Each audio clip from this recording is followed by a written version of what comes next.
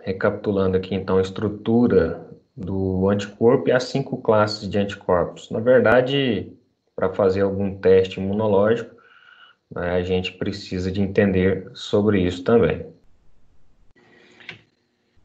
Então, recapitulando essas cinco classes de anticorpos, nós temos é, que entender alguns conceitos.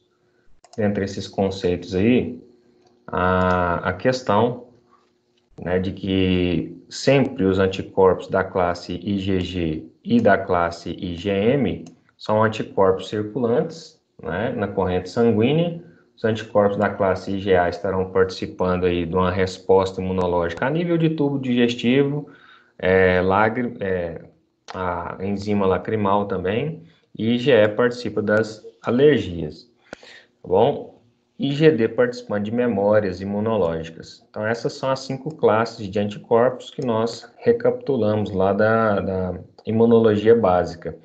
Por que, que elas recebem o nome IgG? Porque IgG tem cadeia pesada gama, IgM, cadeia pesada do tipo micra, IgA, cadeia pesada do tipo alfa, IgD, cadeia pesada do tipo delta e IgE, cadeia pesada do tipo epsilon aonde cadeia pesada é o que está representado aqui em azul, né, escuro. Olha só, cadeia pesada do IgG, do IgM, do IgD, do IgA e do IgE, cada um apresentando as suas peculiaridades e diferenças entre composições de aminoácidos, né, de ligações de pontos de sulfeto, e aqui a porção variável representado é, em vermelho, que é a porção que dá origem à especificidade do anticorpo. Essa parte aqui do anticorpo que liga ao antígeno, não é? E essa porção do anticorpo que nós chamamos de porção de cristalização, ou porção FC, ou porção terminal, ela tem um papel importante dentro né, da resposta imunológica e também para fazer imunodiagnósticos, certinho? Recapitulando, assim, agora que você já é, reacendeu a memória a questão dos anticorpos, né, recapitulando aí da onde que vem esses anticorpos. Normalmente, né, nós temos ali uma resposta inflamatória que começa com fagocitose, não é, gente? A fagocitose, então, é representada aí por neutrófilos e monócitos.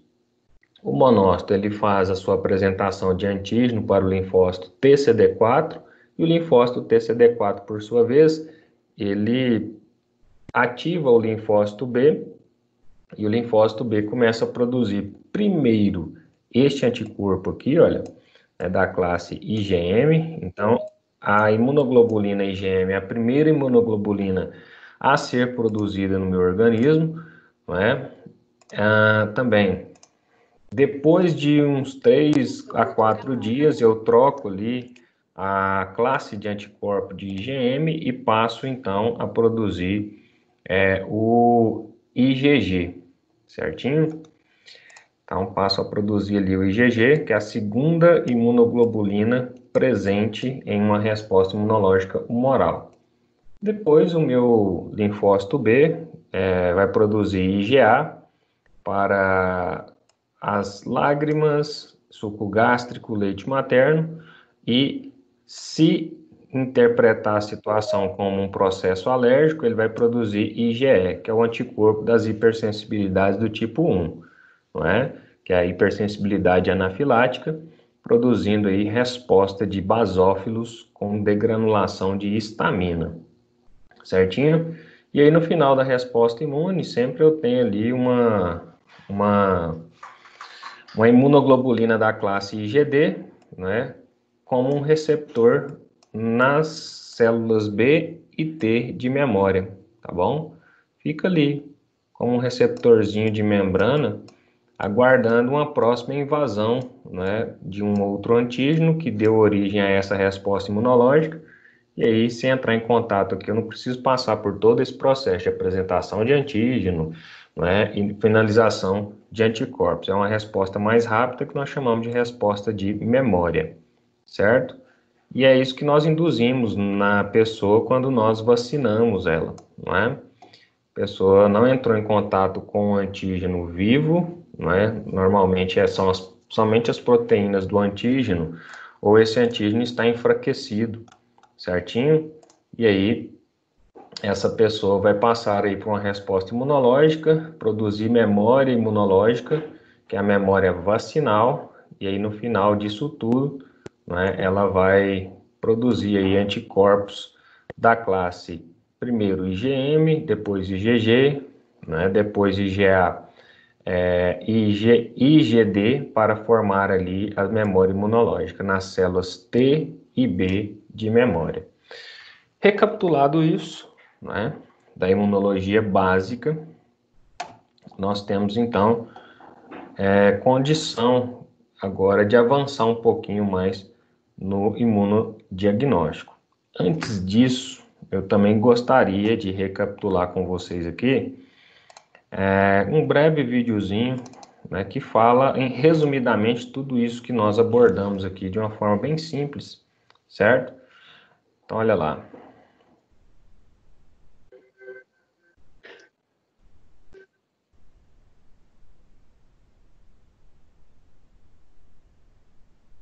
Eu tenho então, a, um fluxo sanguíneo demonstrando aí a invasão microbiana de um vírus, não é?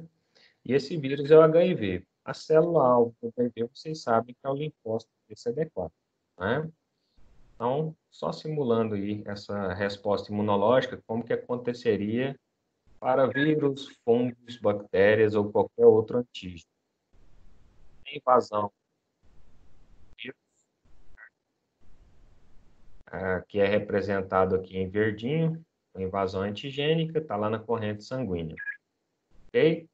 O vírus, ele tem uma célula para atacar, né? ele é um parasita intracelular obrigatório. No caso do HIV, ele sempre vai atacar o linfócito TCD4 para promover ali a sua replicação viral, a sua resposta né, de, de continuidade. Então, o linfócito TCD4 infectado, vai começar a produzir novos vírus que vão replicar e o ciclo lítico vai matar a célula, replicando e infectar novas células. E eu vou né, diminuindo a população de células TCD4, é onde a pessoa entra na síndrome de deficiência adquirida, que é a AIDS.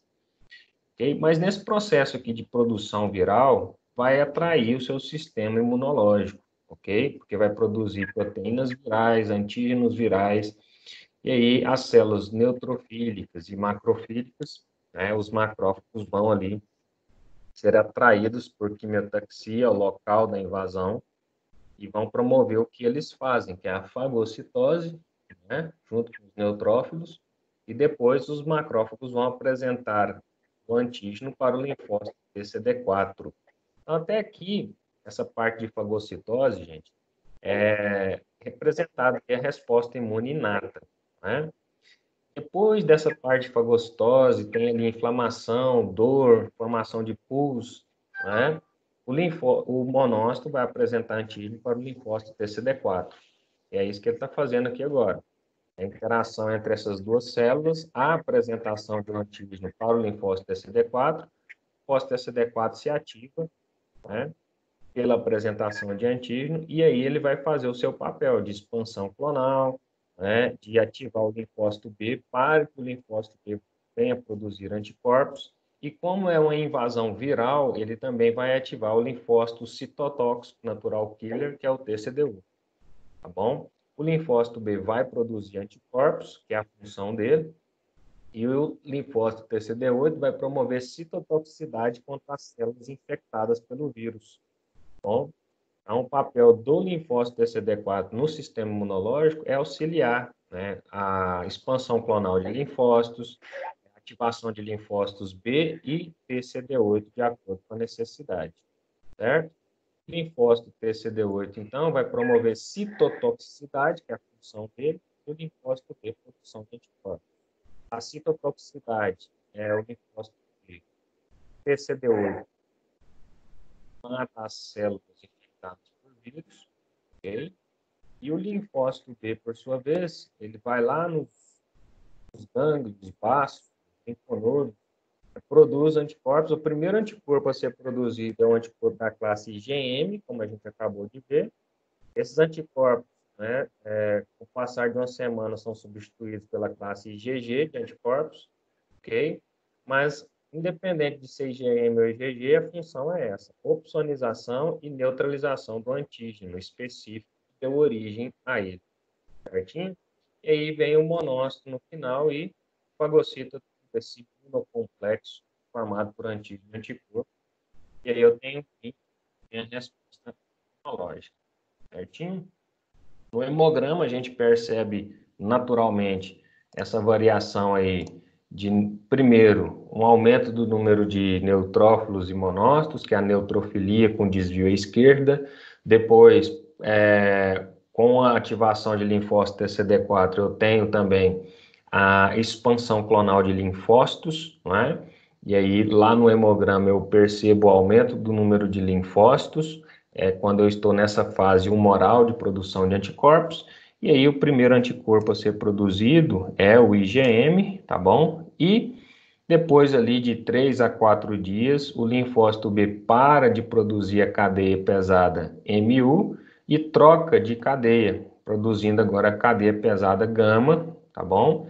E aí o anticorpo é, não muda a porção variável, porque ela é específica ao antígeno que deu origem, só muda a cadeia de IgM para IgG. E aí IgG fica circulando aí por um longo período, né? por isso que ele é mais abundante no soro. Então, quando eu estou fazendo um, um imunodiagnóstico, né, que o médico pede lá sorologia para é, qualquer coisa que seja, qualquer antígeno que, se, que seja, quando eu encontro anticorpos da classe IgM é, na pesquisa sorológica do paciente, significa que ele está com a doença naquele momento. Quando eu encontro anticorpos da classe IgG, né, naquela pesquisa de, de, anticorpos que o médico solicitou, significa que ele teve essa doença é, num passado é, é, bem presente, tipo semana passada, ou num passado remoto, tipo anos né, se passaram e eu continuo com IgG na circulação. Exemplo, quando você era criança, você ou infectou-se com varicela, que é o vírus da catapora, ou foi vacinado não é, por varicela, é, e aí você produziu primeiro anticorpos da classe IgM, não é, e depois de uma semana ali, esses anticorpos da classe IgM, eles foram substituídos por anticorpos da classe IgG. E se eu dosar não é, é, a pesquisa de varicela no seu sangue hoje, a única coisa que eu vou encontrar é anticorpo da classe IgG. Se eu dosar anticorpo anti-rubéola hoje em você, o único anticorpo é da classe IgG, visto que você foi vacinado contra sarampo, rubéola, catapora, ah, foi vacinado aí contra hepatite é, viral, não é? Foi vacinado também contra tuberculose, que é a vacina BCG. Então, para todas as suas vacinas do passado, hoje você tem uma imunoglobulina G circulando, mantendo aí as suas defesas em circulação e também mantendo um IgD na membrana de linfócitos B de memória e T de memória para que um dia, se você entrar em contato com esse antígeno novamente, você já tem um anticorpo pronto, tá bom? Da classe IgG, em circulação, que já vai garantir ali é, uma inibição do processo patológico, impedindo que você venha manifestar a doença, e também, como houve uma nova apresentação de antígeno, eu já tenho IgD na membrana de células T e B, eu já começo a produzir mais anticorpos, primeiro da classe IgM e depois substituição de classe para classe IgG. Então, para toda sorologia que eu esteja analisando o exame, é, eu sempre vou analisar anticorpos da classe IgG e IgM, tá bom? Aonde o IgG, se estiver presente, significa infecção passado recente ou passado remoto. E IgM, se estiver presente, significa que a infecção está presente, exceto algumas síndromes, como toxoplasmose, que eu tenho a síndrome do IgM persistente, tá bom? E aí eu preciso de fazer um outro exame, que é a avidez imunológica, tá bom? O que, que é este exame, Eden? Chamado de avidez imunológica. Avidez imunológica. Agora eu chego lá, só gravo essa palavra aqui. Avidez imunológica. Tá bom? Só grava essa palavra aí. Olha só, é, vamos exercitar aqui a mente. Né? O médico quer saber se você, bom, você chegou lá né, no consultório dele com febre, né, dor de cabeça, dor nos fundos dos olhos. Nesta época que nós estamos vivendo, ele vai pedir sorologia para COVID-19, vai, vai pedir sorologia para dengue, tá bom? E vai pedir sorologia para influenza. Essa sorologia que ele vai pedir, ele vai pedir sorologia para dengue, né?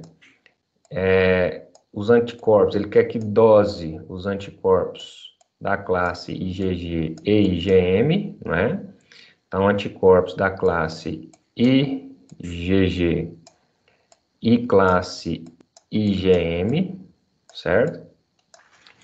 Também ele, né, como a suspeita clínica pode ser nessa época aí o COVID-19, ele também vai pedir uma sorologia para COVID-19,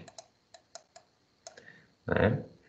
que é o SARS-2, é, é, o SARS coronavírus 2, né? Só vou colocar aqui COVID-19, porque todo mundo conhece como COVID-19. Então, da classe IgG e da classe IgM, tá bom? Ele também, né, se você morasse no litoral, ele ia pedir uma sorologia para zika e para chikungunya, tá bom? Não que isso não chegou aqui em Goiás, mas lá no litoral é bem mais propenso né, à ocorrência de zika e chikungunya. Então, Covid-19 e ele também, além de dengue e Covid-19, ele ia pedir para influenza, que tem influenza A e B, né? Ele coloca lá sorologia para influenza.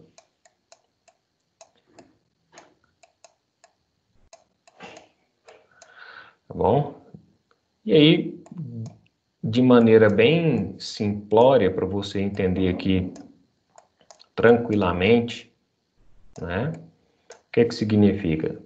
A pessoa vai lá no laboratório com esse exame e a pessoa, o laboratório vai, vai registrar isso. É sorologia para dengue, IgG IgM, né? sorologia para COVID-19, IgG IgM, sorologia para influenza, IgG IgM tá bom? E aí, lá no laboratório, vai colher o sangue, vai separar o soro, ok? Por centrifugação. E aí a gente vai né, promover aí, então, uma, uma pesquisa desses anticorpos. E aí, olha só, sorologia para dengue, IgG deu não reagente, tá bom? Sorologia para dengue IgG deu reagente, ok? Covid-19 não reagente para a classe IgG e IgM também não reagente. Influenza não reagente e da classe IgM também não reagente. Pergunta: qual doença esse paciente tem? Covid-19, influenza ou dengue? Ele tem dengue, porque deu reagente à presença de anticorpos da classe IgM. Ninguém tem nenhum desses anticorpos se não entrar em contato com o vírus, tá bom? E aí, como é da classe IgM, significa que ele está com a doença naquele exato momento. E os sinais e sintomas, febre, dor de cabeça, dor no fundo dos olhos, está correlacionado à manifestação clínica do vírus. Porque o vírus do dengue, ele ao ser inoculado pelo mosquito Aedes aegypti na pessoa, ele começa ali né, a atrair células de defesa, tipo monócitos e neutrófilos, e aí também ele começa a estimular essa resposta imunológica. Só porque esse vírus, ele particularmente consegue é, burlar a fagocitose de neutrófilos e monócitos, é, ele consegue replicar dentro de neutrófilos e monócitos, ok?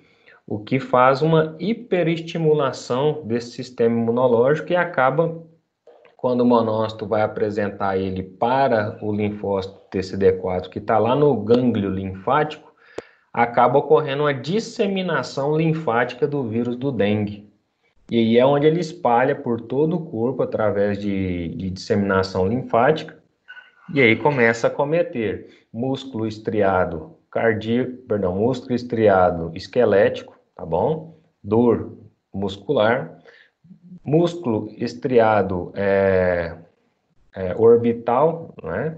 Dos olhos, que comanda o movimento ocular, dor no fundo dos olhos, músculo estriado liso, é, do intestino, provocando diarreia, vômitos, certo? E aí, nesta constante multiplicação viral dentro de neutrófilos e monócitos e espalhando por circulação linfática, então eu tenho uma viremia, um pico da viremia bastante elevado em poucas horas, certo? É onde a pessoa, se foi picada pelo mosquito hoje, mosquito Aedes aegypti, ele já começa a manifestar sinais e sintomas em questão de horas. No outro dia ele já está muito ruim, certo? Mas de um dia para o outro, obviamente que a pessoa não vai produzir o que? Anticorpos. Primeiro eu tenho essa resposta imunológica, eu só falei de neutrófilos e monócitos. E antes de 2010, só se fazia sorologia para dengue, GG e GM. Aí descobriu essa proteína que tem em todos os vírus do dengue, que é o NS1. Certinho? O NS1 é a proteína do capsídeo viral, né? Que está presente em todos os vírus do dengue. Existe o DEN1, DEN2, DEN3 e DEN4. E para cada um desses DEM, existe mais quatro subtipos. Então, 4 vezes 4 são 16 subtipos de vírus do dengue. E aí, o que, que acontece? Para esses subtipos, todos eles têm NS1. Então, nesse primeiro sinal e sintoma, que já começa aí no primeiro, segundo dia, antigamente o povo falava assim, olha, é, é suspeita de dengue, mas a gente só vai poder fazer o exame a partir do terceiro ou quarto dia de sintomas. Por quê? Seu organismo vai levar de 3 a 4 dias para produzir IgM e IgG. Tá bom?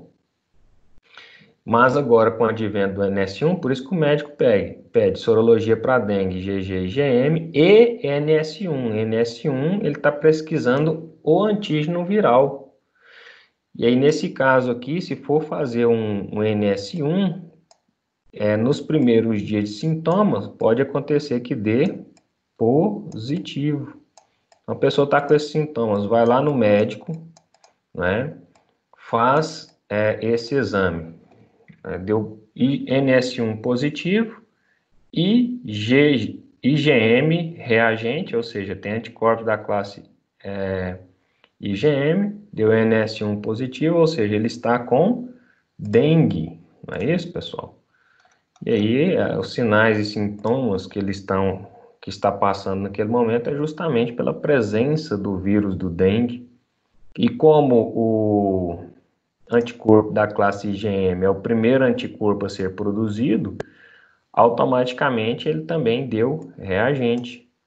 Acontece muito assim também, olha da IgM não reagente, né? é IgG não reagente, e aí cara tá com sinal e sintoma. Aí o médico pede NS1, aí dá positivo pro NS1, ou seja, o cara está com o vírus, mas ainda não produziu anticorpos. bom? E aí, quando começa a produzir IgG e IgM, como o IgG ataca o vírus, a tendência é negativar o NS1. Por quê, professor? Vai porque eu comecei a produzir anticorpos. Vocês viram que os anticorpos ele começa a então a neutralizar o vírus e o monócito vem e arrebenta com tudo, certo? E aí a tendência é ficar desse jeito aqui, olha, próximo passo. Só deu o NS1 positivo. Somente neutrófilos e monócito. O monócito vai lá, apresenta antígeno o linfócito TCD4. Começa então a produzir anticorpos da classe IgM. E aí, nesse momento, o IgM vai dar o que, gente? Reagente. Tá bom? IgG, nesse momento aqui, pode dar reagente ou não, depende do, de cada organismo. O fato é que o IgG ele é o segundo anticorpo a ser produzido. Primeiro produz IgM em larga escala, são 3 trilhões de moléculas de anticorpo por dia que o linfócito B, cada linfócito B pode produzir, tá bom?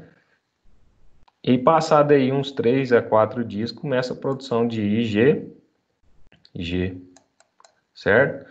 E aí pode ficar reagente ou não reagente, dependendo do tempo que você colheu ou da pessoa que colheu, né, produzir esse GG de segunda instância. O fato é que depois de uma semana, isso aqui tudo desaparece. A única coisa que vai ficar são anticorpos da classe IgG. Então, se você teve dengue no passado, ah, pessoa, eu tive dengue o ano passado. Você pode ir lá no laboratório, sem sinal e sintoma nenhum, dosar sua sorologia que vai dar dengue IgG reagente. Ou seja, significa que você teve contato com esse vírus no passado ok? E aí, para descobrir se esse IgG é do passado ou remoto, né, um ano, dois, três, quatro anos atrás, ou se ele é de um passado bem presente, tipo semana passada, aí existe esse exame de avidez imunológica. O que, que é avidez imunológica? Cada anticorpo ele tem a sua porção variável e é esta porção variável aqui que encaixa na superfície do antígeno. Ou seja, é essa porção variável do anticorpo, né, representada aqui por vermelho, que encaixa, né, é, que se liga à superfície do antígeno, com maior ou menor afinidade. O que, que é isso? Com maior ou menor força de ligação. O que vai determinar essa maior ou menor força de ligação é o tempo e as apresentações de antígeno que o linfócito B está, está apresentando para ele. É mais ou menos assim, olha. No primeiro dia de aula, ninguém conhecia ninguém, cara. Passado ali algum mês, você começou a conhecer algumas pessoas, um ano, você já começou a conhecer não somente as características físicas da pessoa, mas o nome da pessoa e até alguns detalhes da personalidade da pessoa. Se essa pessoa é chata, se essa pessoa é uma pessoa legal, se essa pessoa é uma pessoa falsa ou se essa pessoa é uma pessoa muito verdadeira. Fato é que quanto maior for a apresentação e o contato, mais detalhes você vai extrair daquela persona ou daquela segunda persona. Com linfócito B é a mesma coisa. Quanto mais eu apresentar o antígeno para ele, mais detalhes ele vai é, assimilar do antígeno. E quanto maior a riqueza de detalhes que ele tiver no seu acervo, de produção de anticorpos, maior ou melhor vai ser né, a porção variável, que vai se encaixar anatomicamente melhor ou com maior afinidade ao antígeno. Isso só é possível com o decorrer do tempo. Então, quando um anticorpo da classe IgG é recentemente produzido, ele tem lá a sua afinidade de ligação ao antígeno, porém com baixa avidez. Ou seja, ele se liga ao antígeno com baixa avidez imunológica.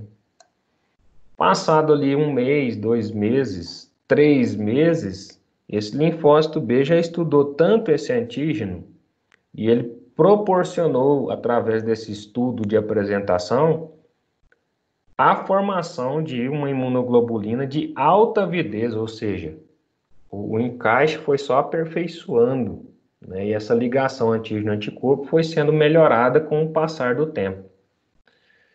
Então, quando o IgG é de alta avidez, significa que ele foi feito no passado, no mínimo de 3 a 4 meses atrás.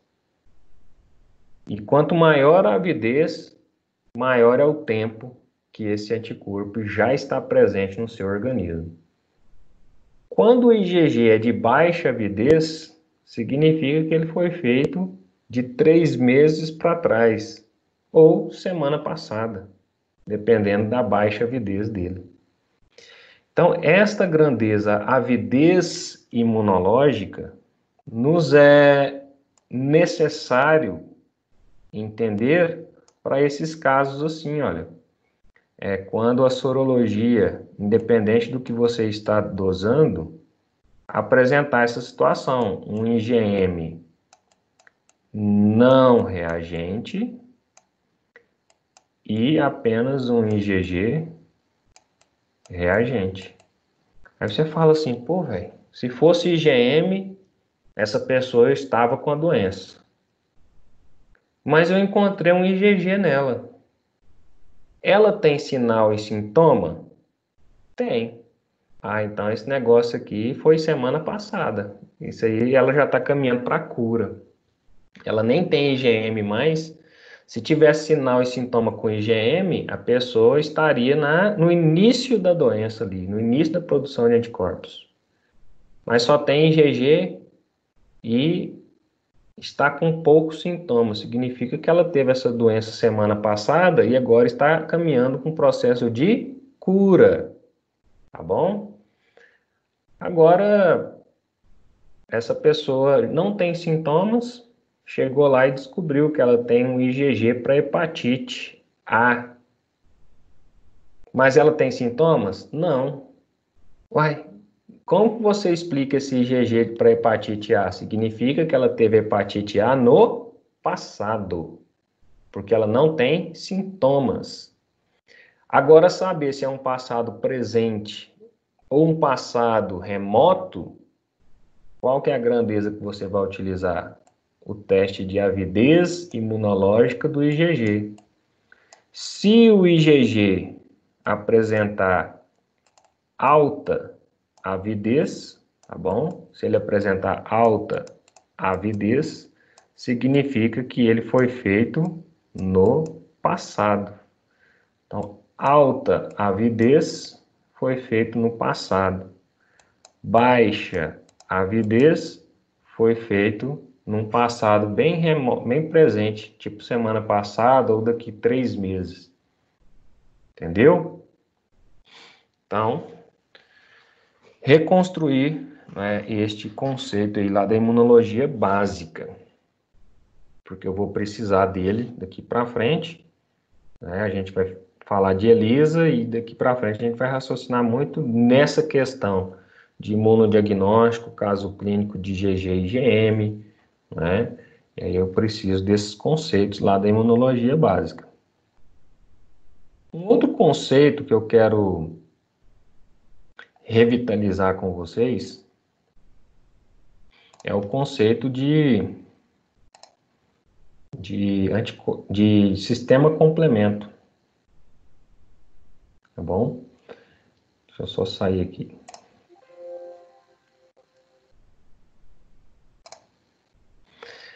Conceito aí de sistema complemento. Certinho? Além dessa resposta imunológica que nós vimos hoje, pessoal, o sistema complemento, como o próprio nome diz, ele complementa a resposta imunológica inata e a resposta imunológica adquirida. E aí, depois que se forma a anticorpos da classe IgG e IgM, eu consigo ativar aquilo que nós chamamos de via clássica do meu complemento, tá bom? E aí, como que funciona essa ativação? É, o sistema complemento, ele funciona por ativação de cascata, não é? A proteína 1 ativa a proteína 2, a proteína a ativa a proteína B, a proteína B ativa a proteína C e a proteína C ativa a proteína D e aí vai embora, tá bom? É um sistema de ativação por cascata, aonde o princípio inicial, não é, que nós damos para ativar esse sistema complemento é uma resposta imunológica. O sistema complemento é composto de aproximadamente 20 proteínas que estão na circulação no seu sangue nesse momento, tá bom? E que se interagem para formar o que nós chamamos de cascata do complemento, provocando lise celular no final desta cascata.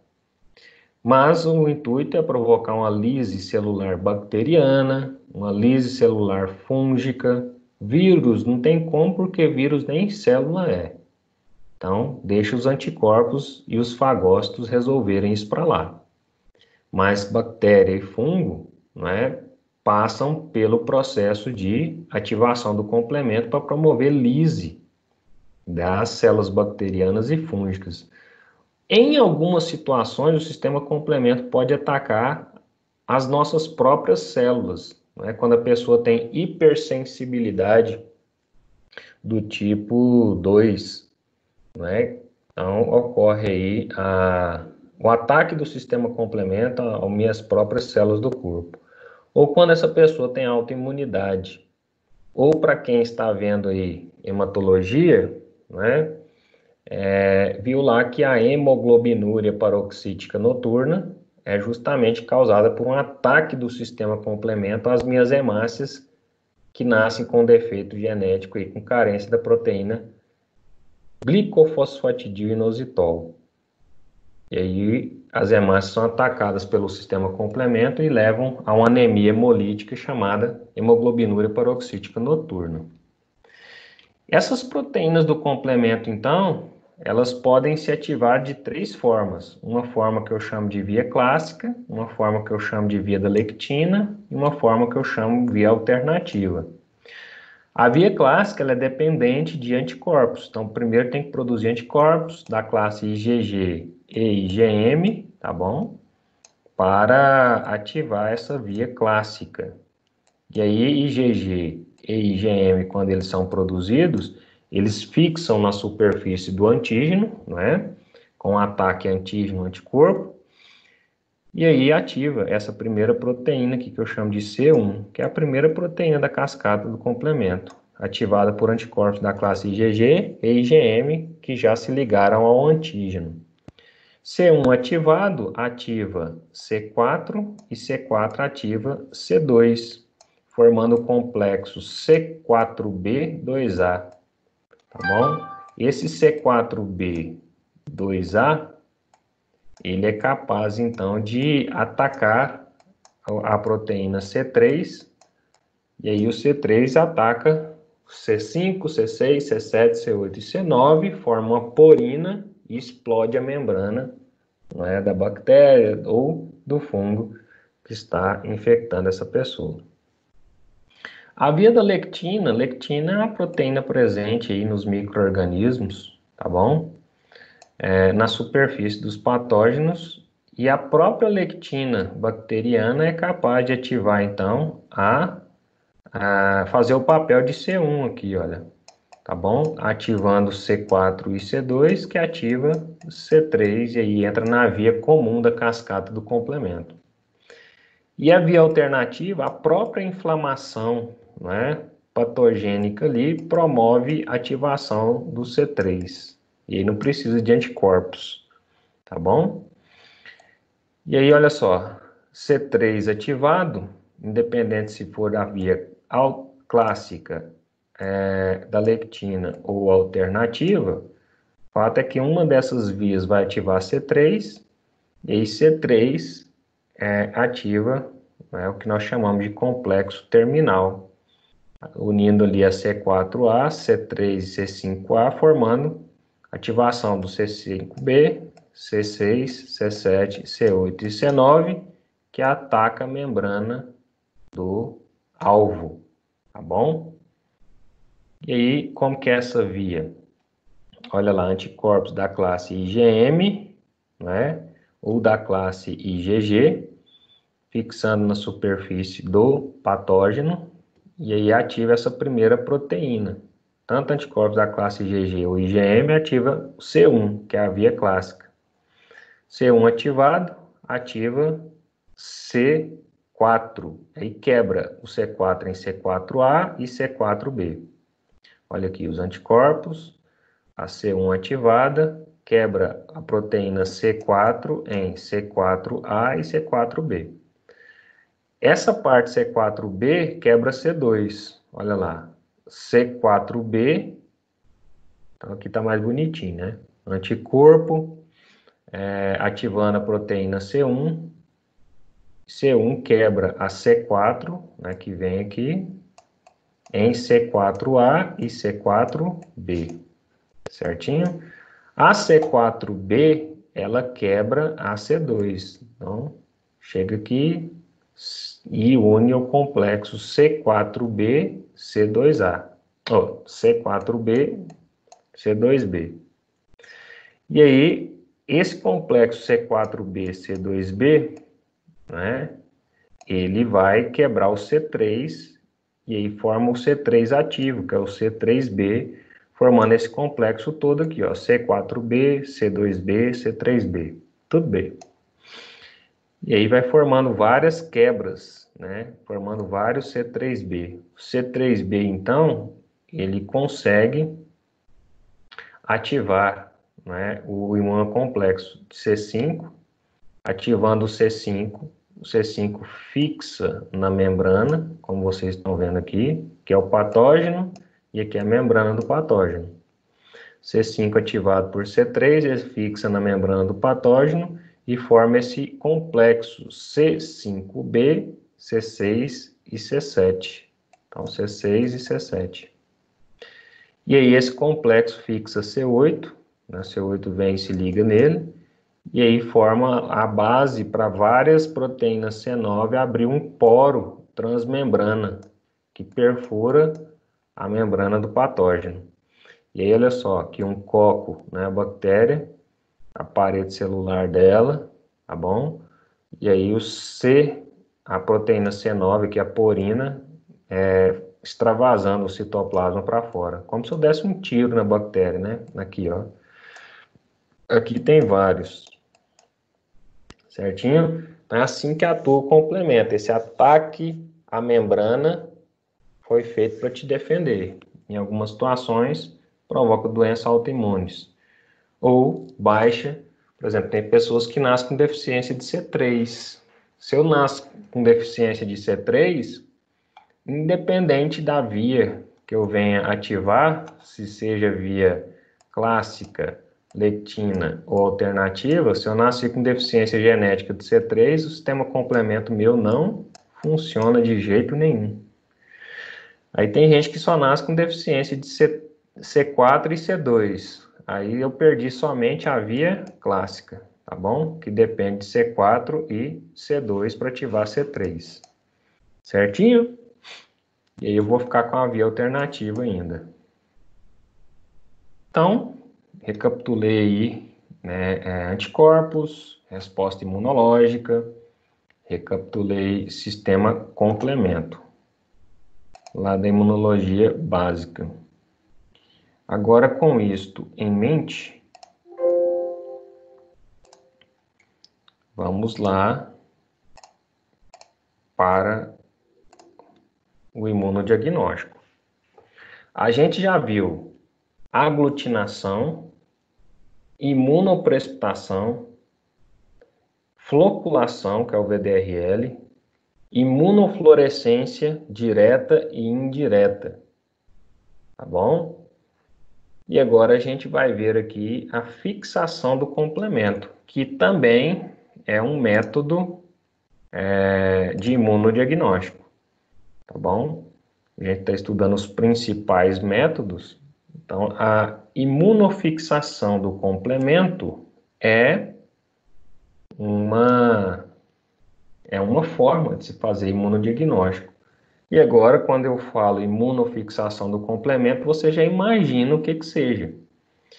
É? é uma variação da técnica de hemoglutinação que a gente já viu, não é? onde utiliza-se a capacidade citolítica do sistema complemento que você relembrou na aula de hoje, para amplificar a detecção de interação de antígeno-anticorpo. Variação dessa técnica é inibição da fixação do complemento. A gente viu, quando a gente viu hemoglutinação, nas aulas de aglutinação, é, que ela também pode variar nessa inibição da hemoglutinação. A gente citou até o exemplo do beta-HCG. Aqui eu posso fazer fixação do complemento, observando aspectos citolíticos, ou a inibição da fixação do complemento. Então, fixação do complemento, o que, que é isso? Eu coloco um antígeno, né? Tem que ser um antígeno é, mais complemento ok? Eu coloco o antígeno mais proteínas do complemento junto com o soro do paciente. Por exemplo, eu quero pesquisar se esse paciente teve o contato com a, uma bactéria, Haemophilus influenza. A bactéria Haemophilus influenza, mais proteínas do complemento e coloco aqui o soro do paciente. Se no soro do paciente tiver anticorpos anti-hemófilos influenza, se tem o exemplo da hemófilos influenza, poderia ser Neisseria meningitidis, Escherichia coli, Klebsiella pneumoniae, tá? Então, se essa pessoa teve o contato com o antígeno, vamos falar assim, vai produzir anticorpos. E aí, quando eu coloco o antígeno mais complemento junto com o soro dessa pessoa, o que, que vai acontecer? Os anticorpos vão atacar o antígeno específico e fixar o complemento. O que, que vai acontecer, gente? Hemólise, olha aqui. É, aqui é bem visível, né? Quando não tem hemólise, precipita lá no fundo, forma um botãozinho. Agora, quando tem hemólise, olha aqui, hemólise parcial, tem um pouquinho lá no fundo, mas aqui você já percebe uma hemólise parcial e aqui uma hemólise total, ou seja, nesse caso aqui a imunofixação é positiva, aqui também é positiva, aqui também é positivo e aqui é negativo. Aqui negativo, negativo, negativo, positivo. Cada pocinho desse é um paciente, dá para se avaliar né, essa positividade. Se eu colocar o antígeno mais complemento no soro do paciente e o soro não tiver nada, simplesmente isso vai precipitar lá no fundo, como você está vendo aqui, ó. Então, nesse caso aqui, é um resultado negativo ou não reagente, que justamente representa esta situação. Aqui é um caso positivo, ou reagente, que representa esta outra situação aqui. A pessoa tinha anticorpos no soro dela. Tá bom? A vantagem desse método é que tem uma maior sensibilidade do que a hemoglutinação que a gente viu, e é de rápida execução e baixo custo. A desvantagem é devido ao problema da preservação do complemento, que são proteínas lábeis, né, e na sua estabilidade, problema de falsos negativos podem ocorrer. Então, para evitar esses falsos negativos, eu sempre tenho que correr junto com a minha análise controles positivos e negativos. Porque se o controle positivo negativar, significa o quê? Pô, essa reação não está funcionando, cara. Ou as proteínas do complemento já perderam a sua validade, né? ou o antígeno perdeu a sua validade, porque o controle positivo deu negativo. Então, tudo que vocês forem fazer no laboratório sempre tem que ter um controle. certo? Positivo, negativo ou que te gera um valor numérico, certinho?